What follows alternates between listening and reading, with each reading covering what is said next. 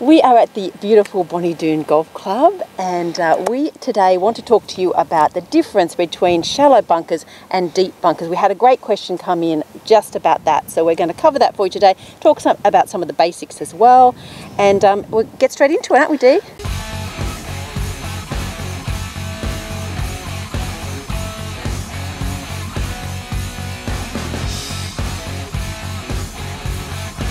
So Annie, here we are. We're going to use the same technique to get out of a deep bunker and also to get out of a shallower bunker.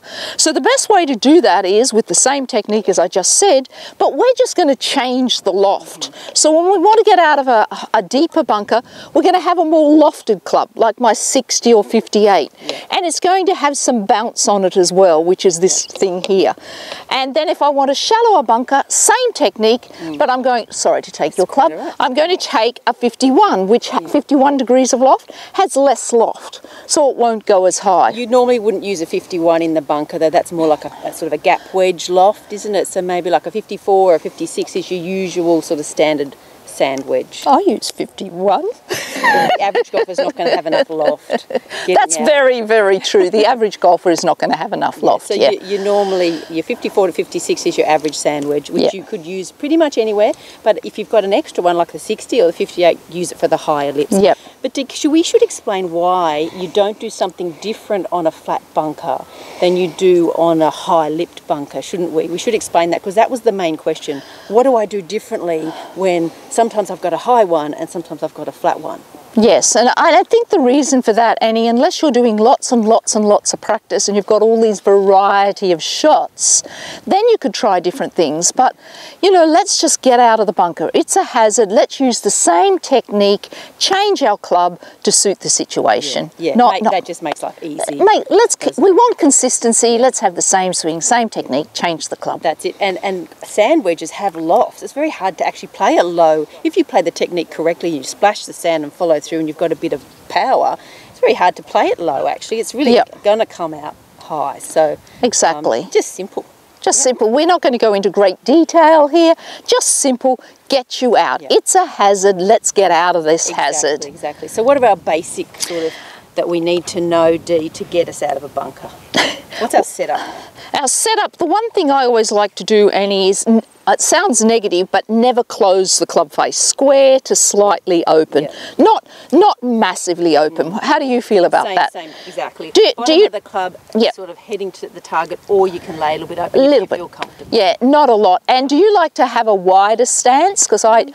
I like a wider stance. Yeah, like that's slightly wide, yeah. slightly wide. And- Give yourself a good solid base. Yeah, good solid base. Play it forward of centre, Yep, not not yep. back of centre. That's right. And give you height on the shot. yeah, and I like Annie just to turn my left foot out a little bit. And why do we do that, Dee? That's just going to help me get more bounce and slightly cut across it without feeling I'm doing anything really It's weird. also going to help you. yeah, get through the ball shot. so you, you don't get stuck behind. And I like to bend my knees more than any other shot. You're a very good student. You know, you could end up being a very good player. I'm just doing everything. So yeah, so my knees are just bending Yep. down the yeah down the grip, keep them bent. And now all I'm going to do, I think this is a great little trick. Uh, you're not allowed to draw in the sand, by the way. right. You're not allowed to draw in the sand. But I like to just hover my club behind that spot and stay watching that Yes. spot. I don't want to hit the ball. That's right. We're not aiming to hit the ball at all. We're aiming to hit an inch or two before Yep. the ball and Yep. splash the sand Yep. only. So um, that's a crucial thing to Yep. know with a bunker. You're not trying to hit the ball. No, absolutely. And you want a nice smooth swing. I don't think we need to get into too much technique here. Not really. I think it's really simple to say let's swing back to shoulder height. Yes. Smooth and accelerating right. through to shoulder And height. And don't be afraid to be quite positive. The sand is heavy. Yep. We need a bit of power, particularly the ladies, to get Yep. right through the And you need to have the club sort of rippling through the sand. You don't want this, No, you this digging action. Hope we got that, that digging action. And So, the follow through, I think, is one of the most important parts of the bunker swing. A lot of people are so worried about the ball flying over the back, aren't they? That they know they need a good swing, they worry about the long one, they get here and they stop, Yep. and then of course the ball doesn't come out. So Exactly. accelerating through, following Accelerating through, through, you yep. could even get your back heel up off the ground like a normal shot. Yep. Stay, but we all have a go? keep those knees flexed. You're looking great. Good student. Yep. Foot turned out. Aiming for our point before Yep. the ball. Nice, good, solid swing. Beautiful. Did you?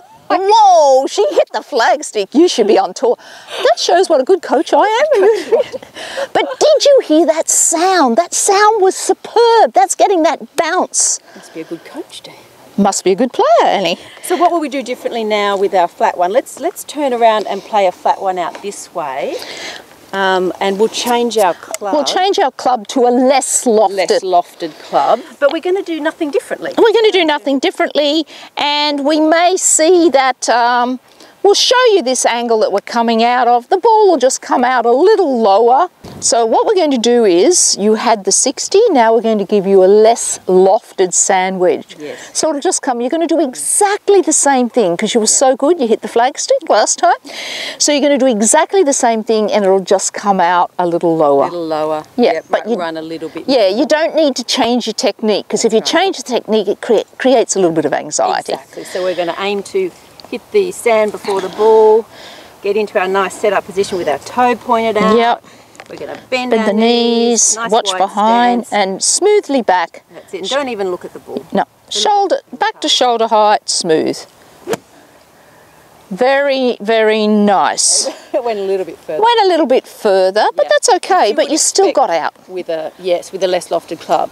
So um, it is, as you say, better to just get out and be out, particularly if you're a higher handicapper. Yep, absolutely. You know, you were saying earlier, sometimes people say, what if the pin's really close? Yeah, if you've got like a short shot and the pin's close and no lip. Yep. It's like people get nervous because they think, oh, I've only just got to get it there. But again, we've got to play it the same way, haven't we? Just get out, ha- uh, get yourself within the two putt range, two putt walk off. Yeah. And if you get closer, good, one putt. Exactly. And, But and don't be- get cute. don't get cute. Don't get be cute. positive, even on the little short ones. Don't be afraid to give it a little bit of positivity Yep.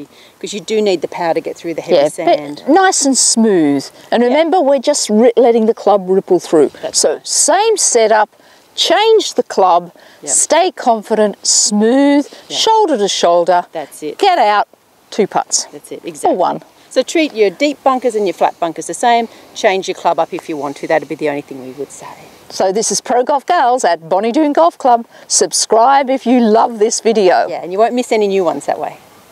Bye for now. Bye. Are we going to say, um, here we are? I think we should say, here we are at Bonnie Doon Golf Club. Yeah. Pro Golf Girl. Pro Golf Girls are now at uh, Pro Golf Girl. Pro Golf Gals are at Bonnie Doon Golf Club today. Uh, about to get, we're going to give you a tip on how to get out of shallow and deep bunkers. Yeah. Yeah. And we'll say if you haven't subscribed yet. Yeah. Now. You say that bit.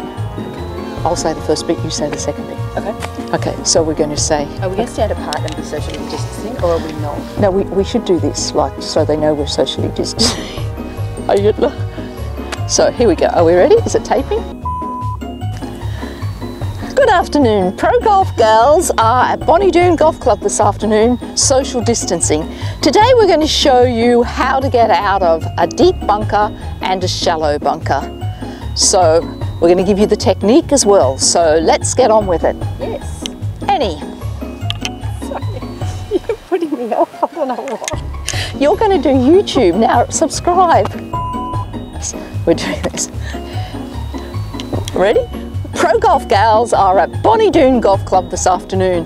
Today we're going to show you how to get out of a deep bunker and how to get out of a shallower bunker. And we're also going to give you some of the techniques to do that, simple techniques. Yes. Aim. Yes. So if you haven't subscribed already, please do so now. And uh, if,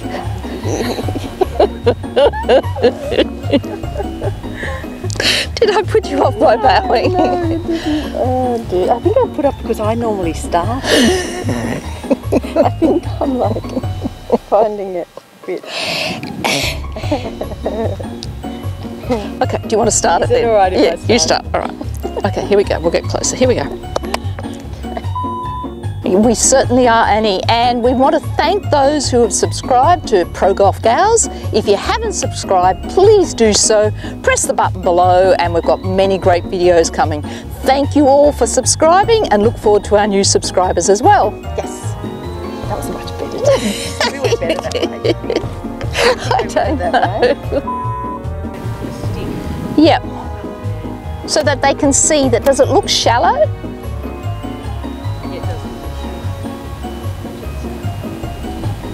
You hit the stick then, that was it. Do you like to start? Because you have trouble otherwise. You won't miss any new ones that way. Bye for now. We're getting so corny. Bye for now. I don't know when we'll be back.